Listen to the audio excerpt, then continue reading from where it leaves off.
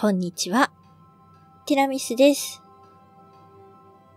今日も The Outer Worlds 続きをプレイしていきたいと思います。はい、ちょっとね、えっ、と、ピンクと青の可愛らしいアーマーがあったので、サブちゃんに着せてみました。で、えっ、と、あれ？ファルバティがここにいたはずなんだけど。お、ここにいましたね。めっちゃ作業してる。おー、かっこいい。ちょっと、あの、サブちゃんとお揃いのアーマーを、お揃いっていうか、色が一緒で、形違いかなのアーマーを着てもらってます。ね、元気？Hey, Captain. キャプテンちょっと話したいんだけど今?大丈夫？もちろん。ジュンレとちょっと話してたんだけど、メッセージでね、それでデータパッドにこれがあって、その、ポエムを送ってくれたような、これは絶対に自作のポエムだよ。じっくり読み込んだ方がいいのかわからない。だってポエムって象徴的なものだったりするわけでしょ？そんなに上手じゃないけど。でもすごく愛おしいの。うん。要点を言って。バラバラに壊れていくエンジンに例えたポエムなの。それで女性整備士が来てエンジンに手を触れるの。そしたら問題が消え去るの。そういう内容よ。希望を持ちすぎないようにしたいの。でもね、これって彼女がエンジンで、私がその女性なんじゃない？本当にロマンチックなポエムだよね。ちょっと胸が苦しくなってきた。おおおー、突然のロマンス。彼女、あなたのことが好きなようね。これがどういう意味なのか私わからない。私が解釈を間違えてるかも。私ね。それほどその体の関係には興味がないの。興味を持ったことも。少なくとも.他の人のようには興味がないの.できないってわけじゃないと思うんだけど.ただ気にしてないの。それが過.去に問題になったことがあったのベールにいた頃、一緒になりたいと思ってくれた人との間で、その人たちにね、私が白状だって言われた。ジュンレイっていうのは、えーグラウンドブレイカーの、えーキャプテンですね。前回、えーこのパールバティがちょっと知識を、教えをこいたいっていうことで挨拶しに行きました。えーと、じゃあどうしよう。なんかちょっとバティちゃんは悩んでるようなんだけど、えーと、でもこれだね。あなたは出会った中でもかなり心の温かい人よ。奴らの言うことは構うことないわ。ありがとう、キャプテン。ちょっと気分が晴れてきたわ。実は巡礼からまたメッセージが来たの。ただ、開く勇気を出せなかったんだ。でもそういうの変えなくちゃだよね。今すぐ。よし。行くわよ。えーと、古い友人のことが頭から離れない。イザベル？だ、誰よ、イザベルって。怒ってる？マティちゃんが、え、まさかの急展開。顔が険しくなってるよ。二人は近しい関係だったんだって、キャプテン。つまり友達以上のってことよ。え？彼女は浮気してるの？あれ？二人は付き合ってたっけ？違うよ。っていうか、わかん.ないから。私はまだ正式に.彼女に告白してないし、ただその、キャプテン、なん.だか気持ちがぐちゃぐちゃしてきた?これからグラウンドブレイカーに向かっちゃう？それとも、ちょっとお酒でも飲んじゃう？ロストホープのバーだっけ？お、いいんじゃないですか？いいやんね。お酒は全てを解決してくれるわよ。ちょっとキャプテン、私は本気なんだけど.真面目に言ってるの今度グラウ.ンドブレイカーに寄ったら、お酒を飲む。一人ぼっちで飲まなきゃならないなら、それでもいい.でも誰か信頼できる人が一緒だったら、そそれが嬉しいなって。お、じゃあちょっと行ってみましょうか。はい。じゃあこちら、えー、グラウンドブレイカー内のバー、ザ・ロストホープ。飲んじゃいましょう。どうすればいい？テーブルは？隅に立ってればいいの？さてそれで、私?たち何を飲むの？詳しいんでしょ？Oh, あ、値段は気にしなく.ていいよ.私が持つから。だからちゃんとやろう。proper. えーっと、どうしようかな。ウイスキーいっちゃいましょうか。本当に酔っ払いたいなら、ウイスキーかな。酔っ払うのが私の目的だから、あなたの言った通りにしようかな。乾杯しよう。なんか牧師、便乗してきたよ。うわぁ。いや、美味しいよ。大丈夫。きつかったんだね。ただこんなガスみたいな味するとは思ってなかったから。あお腹がぐるぐるするみたい。あ、キャプテン。なんだか巡礼のことがすごく恋しくなってきちゃった。私何してんだろう？え、めっちゃ、愛してるやん。かわいいね。えっと、えー、泣いているように聞こえるよ。言いたいことは理解できる。だからそのセリフは考えすぎないようにする。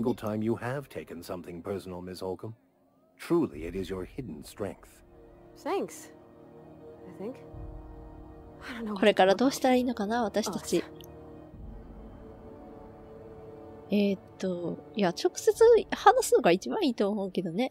彼女のメッセージでどうしてそんなに不安になったのか話してごらん。まず、他の子について?話をしだしたの。イザベルって人。私に知っておいてほしかったように彼女の.名前やなんかを言ってきたの。多分私だけが一人.でずっと舞い上がってバカみたい.になってたんだ。そもそもきっと彼女は私に興味すらなかったんだろう。えー、っと、こうだね。好きでもない人に滑稽で漠然とした官官能的なポエムを送る人なんていないわよ。Uh, えー、っと、それをその、uh, 官能的と言っていいのかはわからないけど.すごいボリュームなのよ。そのポエムはあなたが彼女に触れて落ち着かせてることをほのめかしてるんだよ。恋愛小説の伝説、連続ものみたいにね。た、確かに。ああ、嘘。Oh. そんな、本当に。Oh ちょっとどう.しよう。言ったでしょ? As an avid reader and collector of rare tomes, I believe I なん ought で to have そ a んな look at this specimen は of literary 入ってこん self-expression. くんのえっと、実際どんな風にメッセージに書いてあったの教えてもらってないわよ。すっごい長くてまとまりもないんだ.よ彼女の父親の話だったんだけど、イザベルっていう女性が父親に好きになってもらうために試していたあらゆる手段の.話だったそのイザベルって人は.父親から受け入れてもらえなかったんだけど、それでも関係は続けていて、悪い状況をいい状況に変えたんだって。でも、全部水の泡になったんだって。純麗はまだこの女の人に気持ちがあると思う？でもそんなん直接聞かなわからんやろ。かもね。考えただけで吐き気がしてきたよ、キャプテン。私、今まで、一回も経験な,いの。恋愛経験なんて。自分と相手が同じ思いかどうかなんて、どうやって判断したらいいの？そうだ、もう一杯欲しい。今すぐ。おじけついちゃう前に。え？どうしよう。でも、ちょっと水を、えー、いや、でも水、水、水をあげよう。この一番も気になるけどね。水を持ってきてあげるよ。水なんていらない。でも、あなたの言う通りかも。ちょっとフラフラする。水分補給ね。Good call. It's best to proceed with a light hand the first time. Shush you. 黙っててよ。ついに、つ to いにパールバティ.がマックス牧師に言い返した。silly things, but 巡礼とずっと話してたい。でもすっごい怖いの。何が怖いの？Um, えっと、everything? 全部よ。太陽系ぐらいの規模のドン引きさせちゃう聞きたいことが頭の中でぐるぐる。私が?彼女をかっこいいと思ってるみたいに、彼女は私を可愛いと思ってくれてるかな？あのイザベルって女性に未?練があったらどうしよう。もし付き合い出して私に飽きてきたらどうしたらいいの？そんな疑問が解決できる簡単な方法がきっとあるはずよ。自分の心を地中に収めた人に対して全てをさらけ出すことが簡単なはずはないわ。時々自分のことをすごく悪い人だなって感じるも。なんか器の小さいこと考えたりしてさ。みんなそうだよ。そうだろうけど、私は彼女のために最高の自分になりたいの。気にかけてもらえる価値がある。いい人に。キャプテンなんだか。いっぱい話したね。本当にうわ。考えることがいっぱい。で彼女をデートに誘うの？えーえ、っとどうしようねキャプテン誘った方がいいかな？いやでもこれでしょ。あのねあのね 酔っ払った勢いで、なんか人に冷やかされて告白するのは絶対に良くない。最終的には自分で決めた方がいい。私の意見を聞かないで、自分を信じなさい。Okay. わかった。わかった、誘ってみるよ。ジュンを誘ってみる。船に.戻ったらすぐに。っていうか、多分、そのうち。Eventually. Thanks for 話を聞いてくれて、アドバイスもしてくれて、あと and, は well, 私の友達でいてくれてありがと it means う。本当 lot. に嬉しいんだ。You're good あ people. なたって本当にいい人だね。Well, it's not like I could be elsewhere. Nor am I capable of neglecting a wayward lamb in need of guidance. All right. みんなありがと Thank う。you 本 guys. 当にいい友達を持っ You're た real な。good friends. You そう思?わない I wish, ああ、みんなで静かに暮らしていける場所があ.ったらいいのにな。じゃあ.もう行こうか。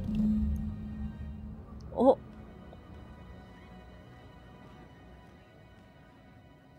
さあ、じゃあパールバティを連れて船に戻るにクエストが、目標が更新されました。どう？落ち着いた？Hey, Captain. キャプテン、バーで私嫌な思いをさせてなければいいんだけど.ウイスキーのせいで頭がガンガンするけどね。原生種に頭蓋骨を食べられてるみたい。巡礼と話したの？戻ってきてからすぐに巡礼にメッセージを送ったら、ものすごく早く返事が来たの。